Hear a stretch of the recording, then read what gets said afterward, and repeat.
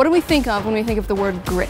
Go to that react button and let me know. Thank you. You matter because you're human. You see, the ideas that you accept and understand at the outset form into beliefs. Those beliefs, if you hold them strongly enough, become convictions.